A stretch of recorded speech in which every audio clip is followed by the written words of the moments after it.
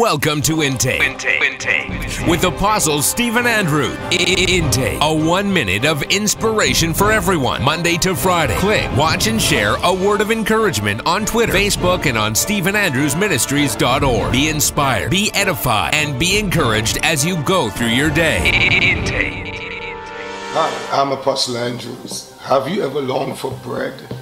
Bread is something that I love a lot, and we grew up in a society where most people would eat bread.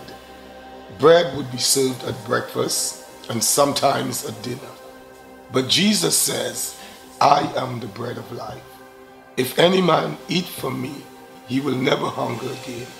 Why don't you feast on Jesus and eat that bread that will satisfy your soul? I can remember eating bread, but yet I would get hungry again. But when you eat from this bread, Jesus Christ, you shall never hunger again. Remember that.